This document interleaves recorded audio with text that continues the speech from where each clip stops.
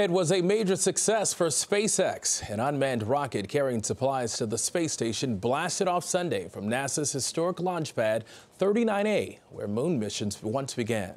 Tony Dokoupil has the incredible sights and sounds. Three, two, one ignition and liftoff of the Falcon 9 to the space station. With roaring engines and a cheering crowd, a Falcon 9 rocket shot through the clouds, beginning a three-day mission to the International Space Station. The historic launch marked the first time a private space company, Elon Musk's SpaceX, lifted off from Launch Pad 39A, the government's gateway to space for the Apollo and Space Shuttle missions. And you can see it descending there with the landing zone in the background.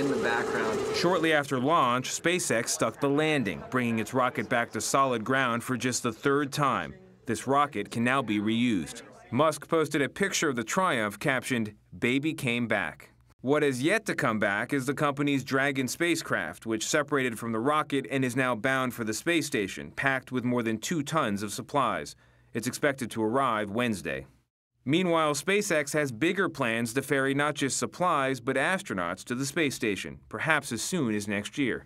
But there have also been setbacks. Last September, an unmanned SpaceX rocket exploded on a launch pad, and in June 2015, on a different NASA mission, another unmanned SpaceX rocket disintegrated shortly after liftoff.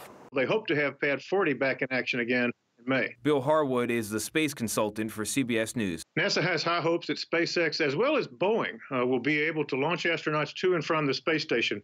A wild card in all of this is what the Trump administration plans for NASA. After Sunday's success, SpaceX has reason to be flying high. Tony Dokoupil, CBS News, New York.